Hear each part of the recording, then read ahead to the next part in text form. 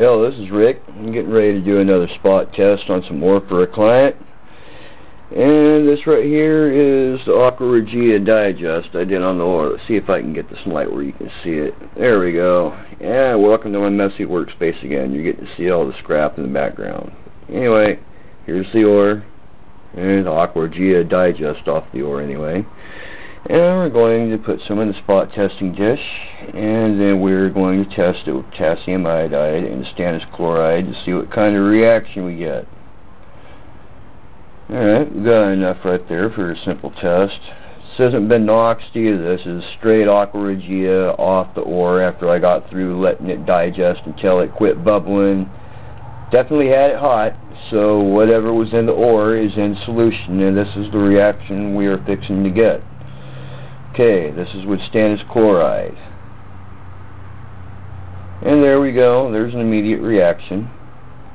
Oh, you put a lot of stannous in there, it gets black. I wish the zoom on my camera worked. It doesn't work, so all I can do is get it close.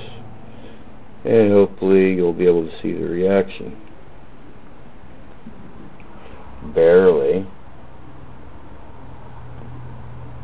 But yeah, it's visible.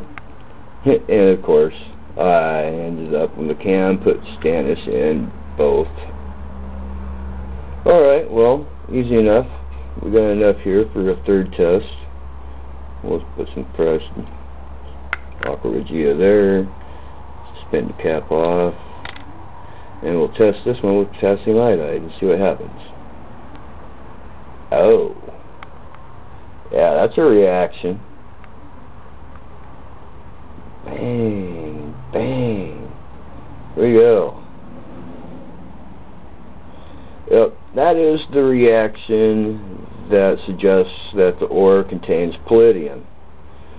The other one with the stannous indicated that it contained gold. I have no idea if I'm even pointing the camera at the dish anymore. I'm reaching across my left hand trying to get some more stannous. Let's see if we can make it react again with stannous.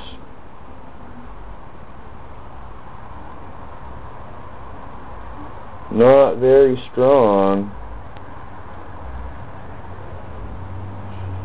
That's as good as it gets. It ain't got a very strong reaction with stannous chloride for gold, but with the potassium iodide, it reacts pretty heavy. You see it already going back clear. It's because it hasn't been noxed, hasn't been boiled down or anything. I'm shortcutting. It doesn't matter the reaction doesn't hold, but whenever you put it in there, you can clearly see if the reaction takes right off. So, that's why I don't do the boil down procedure whenever I'm doing my tests. You see it dissolving, going away. Yeah, of course. That's why you're supposed to do the boil down. That way, whenever you get a reaction, it holds. But if you're just looking for a quick hint, you can test with stannous chloride and potassium iodide straight on aqua regia and not have to worry about it. If it's there, you're going to get a reaction. And just bottom line. I'm going to still have a little bit of stannous chloride left in my tube here. Try to draw it out right quick. Reach across, left hand, got the can held in my right. Yeah, that's the last of the stannous I had made up. Let's see if we can get this thing to react good.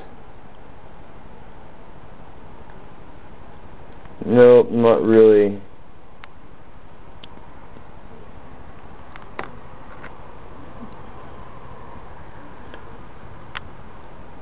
Yeah, put a few more drops. You know. It goes away pretty quick, but at least that's showing a reaction between the aqua regia and the stannous chloride. Good as it gets, people. Ain't got a whole lot of gold in your ore, but you clearly do have a reaction here for palladium that's rather strong. I like this reaction. Oh yeah. yeah. You had someone else's order, huh? But, there you go. There's some more quick hint reactions. Anyway, thanks again for watching. Bye-bye.